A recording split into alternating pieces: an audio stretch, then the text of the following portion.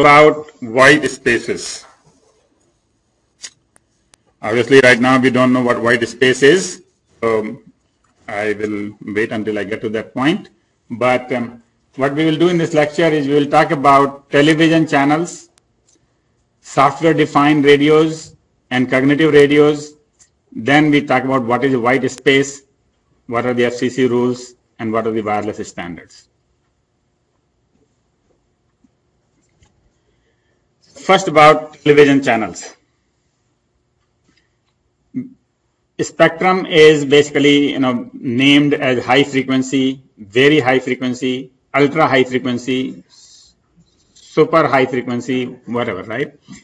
They just ran out of the names of high frequency as they moved from here, from you know below 30 megahertz to 300 megahertz to 3 gigahertz and 30 gigahertz.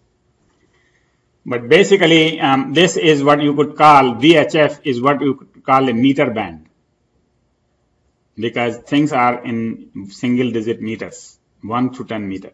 This would be called a decimeter band. UHF would be decimeter band because the wavelength is from 1 decimeter to 10 de uh, to 100 deci to 10 decimeter. Yeah, 10 decimeter. This is right. 10 decimeter is 1 meter. And then this is centimeter band. And we saw the millimeter and so on and so forth and other things. Okay. So all of you know in the television there is a VHF channel and there is UHF channel, right? The lower numbers, channel 2, 3, 4, 5 are VHF. The higher numbers like 55, 63, those are UHF channels. So here is the actual numbering system. If you start at um, 54, giga, 54 megahertz, that is where the channel 2 starts. 6 megahertz later, channel 3 starts 6 megahertz. Every channel is 6 megahertz. Again, this is in the United States. In Europe, it is 8 megahertz. In some other places, 7 megahertz per channel. Every place, they just keep it different so that they are unique. But, um, and actually there is a reason for all this difference is because things start here and we select something and then they go to some other place and they say, oh, hold on, they have this problem, let's just change it. So they find a slightly better system in some sense, but it's different. It's like electric power. We have 60 hertz and 110 volt. And obviously 110 volt requires a lot more current for any power than 220 volt. So the rest of the world has 220 volt. Right? And the frequency is not 60, which cannot be divided by anything. 50 is better. So they go. so the thing is, they find a better system, but it is different. So same thing here. 6 megahertz is US channel. And um, then there is a break. And the channel 5 is at 76. And then there is a break. And channel 174. No, sorry. Channel 7 is at 174 and so on and so forth if you want to see there are five contiguous blocks. Not that it matters too much. But basically, channel 37 is not on any TV because it is used for radio, radio astronomy. And um, 5, 6, 7, they are numbered sequentially. So those are all there, 13, 14, 15. At least one channel is skipped between two analog stations. Suppose this city has channel 2, then obviously, one minute, I'm going to come. If this city has channel 2, then it will not have channel 3. Alright? And the next city will not have channel 2, obviously. Alright? And may not even have channel 3. So there are, there are some rules as to where you can use what channel. Otherwise, there will be interference. Alright? Question. Go ahead. So what's between 4 and 5? Yeah, so there is, I mean, I, there must be some allocation which must have been there before uh, this, they came into this ba channel band. I don't know about that one. Yeah, so there is something here. Obviously, I would have marked here if I know what it was, but there's FM radio here, I know. So when you tune your FM radio, you know that it starts from 88 and goes up to this number. Actually, it doesn't really go to 174. I have seen up to go 110 or something like that, you know, my FM radio. So there must be something more than FM radio here. Um, all right, so you understand that channels are not allocated, all channels are not allocated in all cities. All right, first of all, you cannot allocate alternate channels. Second, you cannot al al alternate, you have to have a different set in the next city. So there is no interference. Now that was analog. Now we change to digital. And digital actually means, basically means that you take the pixels, the colors and things like that and change them to bits. And the advantage of the bits is that you can easily encrypt, multiplex, mix with the data and everything else. Right? And so and you can have standard definition, high definition, and you can, and, and the good thing is that with the digital, you don't need all these empty stuff. You can be closer together and it doesn't take 6 megahertz. Because it depends upon what QAM you are using, you could get lots of bits. And a channel really needs 19 megabits. Alright? So you could do 6 to 8 channels in 6 to 8 megahertz.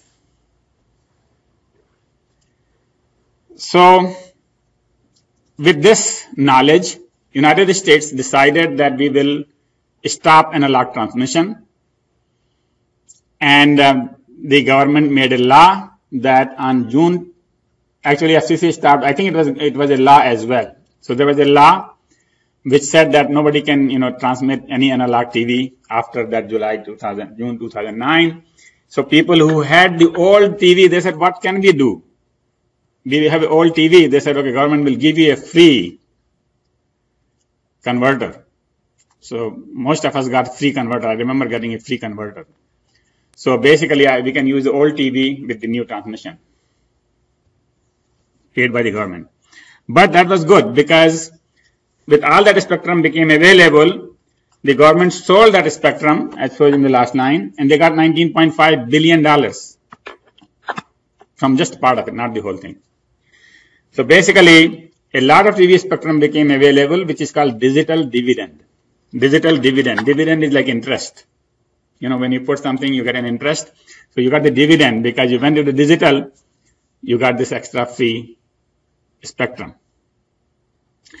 And so when this spectrum became free, of course, every industry ran after it and basically and, and lobbied with the government saying I should get that, I should get that. Cellular company wanted it, internet company wanted it, the Wi-Fi people wanted it, WiMAX people wanted it, the secure, the, the safety people wanted it, everybody wanted that spectrum. So they gave it to everybody. Basically, cellular emergency services, ISM, everybody wants it, right? So government raised 19.5 billion by selling it to cellular and then saved some for other people who didn't want to pay. All right. Now, so, so much story about the bandwidth. Before I come back to that, we'll come back to that.